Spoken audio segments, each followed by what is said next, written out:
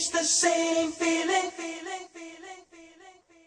Let's get this started now. Let's get this started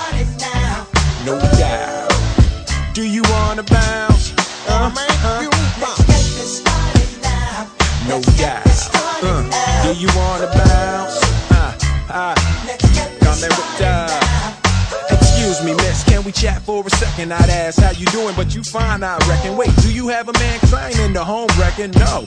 Alright, cool. Just checking. Look, from a hundred yards, you caught my eye. And all my four said I didn't have the heart to say hi. I like to have your number, you don't have to give it now. But if you diss me while they looking, I'ma never live it down. Yeah, I mean? Oh, damn, my name's Will, Maxine. Pleasure to meet you. Look, here's the deal. Can I sit? Thanks. Now, I don't mean to objectify, but this the metaphor that crossed my mind. You sweet. Good enough to eat, make a brother want a TLC creep. A brother can't sleep, like a kid falling for you. So here's my own private nickname. I'ma call you.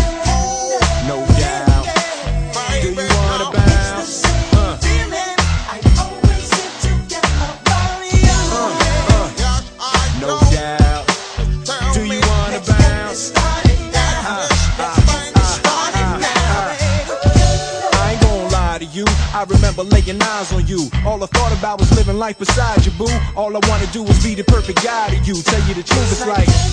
Cause I'm feeling like it's calling me. I'm trying to hold on but falling. Seem quite far to me. I stay strong, but it's hard to be. Cause something bringing out the dog in me. Uh. When I'm deep in my zone, we chat on the phone. I lower my tone, steady plotting on taking you home. Getting all inside of your dome, making you moan. You should've known.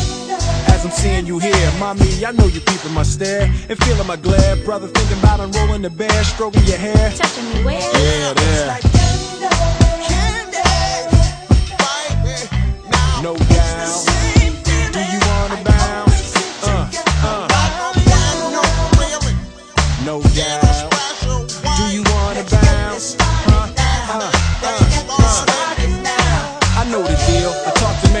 And she said your ex-boyfriends Mike and Ike is both lemon heads. I ain't trying to play a hey girl. I know that you go with Bazooka Joe. Now you know he don't love you like that. He trying to get a Reese piece of the Kit Kat. Really, hun, what he need is a jawbreaker. Cause I'm the one that'll love your baby now and later. Be my peppermint patty with a hundred wishes. And I'll be your Hershey daddy with a hundred kisses. Get the twins M&M's. The book is out of flight today. Me and you can starburst to the Milky Way. I don't care what it costs, girl, a hundred grand. We can snicker all night at my Jolly Ranch. Just me and you. I'll call your friends up too, cause I can get my boys Babe Ruth and Charleston Chew.